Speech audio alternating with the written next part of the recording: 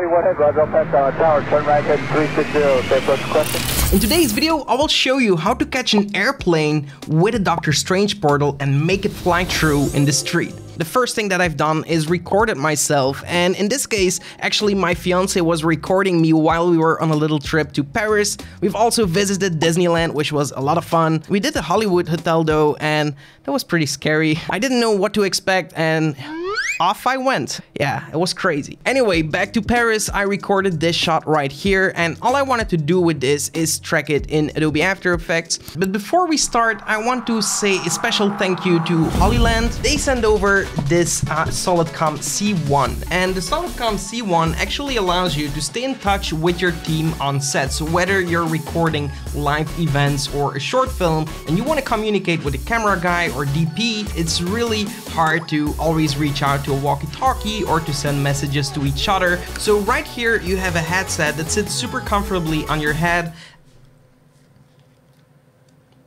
makes you look a little bit like a pilot and it looks super dope. They are rechargeable with these batteries right here and if you're thinking about losing your buddy right there, it can actually reach up to 305 meters according to the specifications. It's really helpful on set so you don't always have to go to the person you want to talk to and yeah, uh, like I said, you look professional while doing so and people like that. So yeah, definitely go ahead with the link in the description below if you want to find out more the Solidcom C1 from Hollyland.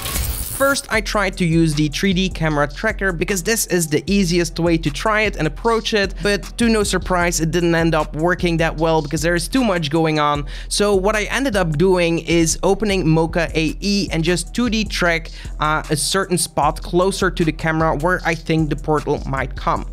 Once that the frame is losing that frame, I'm going to shift over this tracking point so I can continue tracking or adding tracking data to that same point. That's the way Mocha works. Okay, so once I track the entire shot, I parented this to a null object so I have that tracking data. Now I tracked a little point in the far distance, so more to track the plane in the sky, because they're in different parallaxes from each other, and that means that they will move differently. The thing in the background will move slower than the point in the foreground. So that's why I created two tracking points. Then I added in my portal, and for the portal I actually opened up an older project and I just matched my camera angle and rendered that angle out. We actually sell this portal on our website creatorgalaxy.com Um, and it's a preset from a tutorial that I have created a while back. So if you want to see how to create your own Doctor Strange portal from zero or from scratch, then definitely go and check out that video. So I have this portal in black and white and I just add it to my scene. I then parent it to the null that is closer to my camera and place my portal until I'm satisfied. Oh, and before we continue, I know a lot of you have been waiting for this, but the Epic VFX Academy is finally opening its doors once again. This October, we will launch the Epic VFX Academy. A handful of students can join the Academy and will learn how to create Epic VFX from A to Z with courses that I'm giving. Alright, so if this sounds something for you, then definitely check out the link in the description below, epicvfxacademy.com. So make sure that you're not missing out on this amazing opportunity opportunity and sign up for the waitlist. And apart from that, let's continue with the video.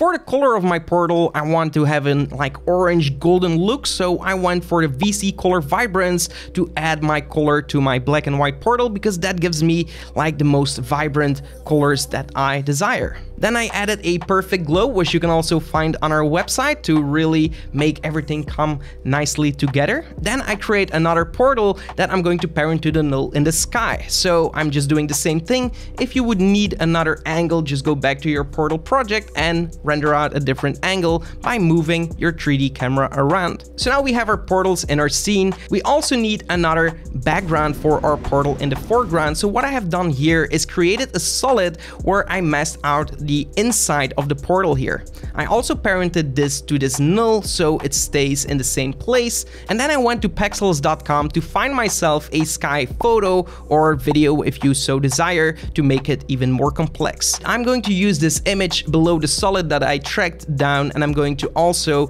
uh, add this as an alpha matte to the solid. So that way I'm just seeing what the solid is representing. You can either parent this to the null or try not to, because you really want to have some parallax with the sky and the foreground, but that's something that you'll have to play with. So now we need our plane that is actually in our sky. Either you recorded a real plane that is flying in the sky, or in my case, I didn't have anything flying there, so I needed a plane photo. I was lucky because the sky is blue and I just had to use the key light to remove the background from my plane image. So now I'm left with a transparent plane. I'm going to animate that plane pretty slowly, and here's the thing that you might want to think about. So when you're looking at something really far and it's going really, really fast, you're going to see it appear pretty slow. But once it would pass through that portal and appear in front of the camera, it should go a lot faster than you would see it in the distance. So that's why you will see in my example, the plane in the um, sky is going pretty slow, and once it passes through the portal, it really slams through there. So anyway, I animated this PNG plane to move into the portal that I have in the sky. After that it entered the portal, I'm going to cut it away or just mask it out. And now I need a plane that actually exits the portal in the foreground. And here I've put quite a bit of work in there. I actually used a plane model and I completely remodeled it, retopologized it, and also UV textured it completely with a CG Creator Galaxy tag, which looks super cool. We have our own private jet now. Yeah, what do you think of it? Anyway, I cut off the wings because I was imagining once you fly through the portal, the portal is strong enough to kind of like, um, like a lightsaber would do, cut off the wings of the plane. So you would only stay with like the um, cabin of the plane that would fly through. So I exported this in Cinema 4D and I imported this using Element 3D. I already had my UV textures saved out, so I just re-imported them in Element 3D and adjusted my textures a little bit to match my environment. You can also add an environment in Element 3D that more or less represents the location you're at, or you can actually import a 360 HDRI JPEG, I think, in Element 3D of your existing location. Um, but I didn't have my 360 camera with me, so that didn't up working for this one, so I ended up using another image that kind of represented that shot. Then I used a bunch of elements to make my shot stand out, to have some sparks, some ground bursts, and also I masked a solid with some roughened edges applied to it to make it look like the ground was cracked open. So after playing around with a lot of dust, sparks, ground bursts and whatnot, I ended up creating something like this. Enjoy. Alright, so check this out.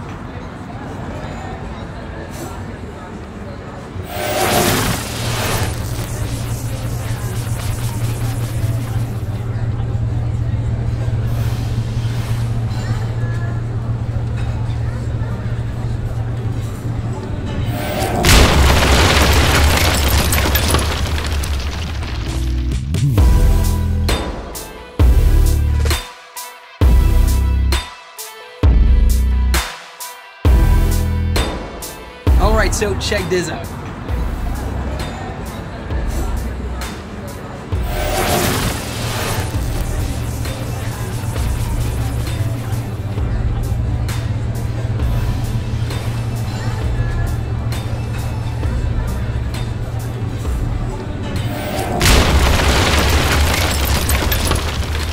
Alright, so that's how I catched an airplane using Doctor Strange magic. Alright, I hope you enjoyed this video. If you did, give this video a like. Also make sure to subscribe to the channel, hit the notification bell to stay notified when I upload new videos. And until then, I'm going to leave you with another video of mine so you can continue your VFX journey uh, right here. And I'll see you in the next one. Until then, create epic videos.